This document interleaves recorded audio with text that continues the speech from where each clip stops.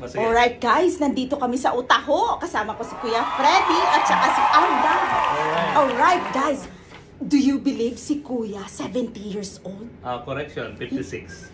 Oh, oh sorry, 56 pala. Yung bewang ko. Ayun, Ay, kasi taho kami. Sarap ng taho. Oo, grabe dito guys sa Canada. Ang utaho nila napakasarap. Ay, may ari nga sa likod namin. Oo, yan. Tingnan mo si Alda dyan. Ayun, may take home na kami. Very humble naman to. Oo.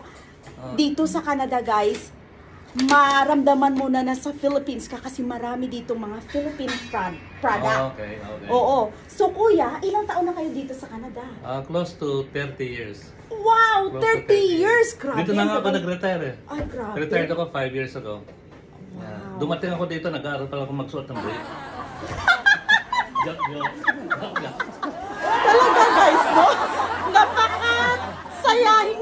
That's why yung sikreto nun, na younger siya. Talagang komedyante. Saka palagi kaming winter dito, kaya yung mga balat namin hindi hindi nalulunod. Dahil mag nakapreserve ang mga beauty namin dito eh. Ay, ganun ba yun? Oo, ang lamig, di ba? Ito mga itsura natin. Pinipreserve natin yung mga beauty. Katulad So- tong katabi ko, napakaganda Ay, ngayon. naku. Ba- parang bagong labas sa freezer. Bagong labas sa freezer. joke. Uy, kuya, Oh, oh. taga saan yung family mo sa Philippines?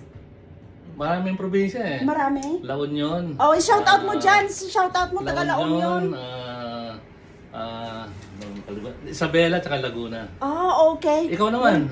Ah, yung mga pamilya ko yun doon sa Negros. Ah, Ay, Negros. Oo, Negros Occidental. Balita ko, napaka-pogi raw ng ah, boyfriend mo. Ay, asawa ko na. Ah, asawa mo? Kala- Alda, ikaw, saan yung family mo? Sa Pangasinan. Pangasinan. Oh, sa o sige, Pangasinan? shout out mo mga pag- taga Pangasinan. Sa Shout out Pangasinan? dyan. Sa ano kuya? Sa Labrador. Ah, Labrador. Malapit sa Hundred Island. Oh, wow. It's a beautiful place. Yeah. Guys, tapos mayroon pa sila, nagtitinda sila ng ham. Ayan, ayan. Tapos pwede kang mamili ng kung anong kalaki ng ah, taho yung gusto mo. So ito pang party ito guys. Yun. So pag nandito ka sa Canada, talagang wag mong kalimutan pumunta dito sa Utaho sa Fraser and 26. Bye bye. Nandito na ako sa bahay ng amo ko guys. Ngayon nagkakain na ako ng taho. Ang sarap na alala ko doon sa Manila or pag uwi sa Pilipinas, nagsisigaw ng taho! Taho! Yan, taho. Taho. Talaga ang sarap. Shout out again kay Alda. Mm.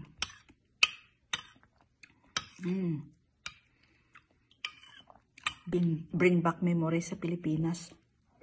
Mm. Mm. Sarap.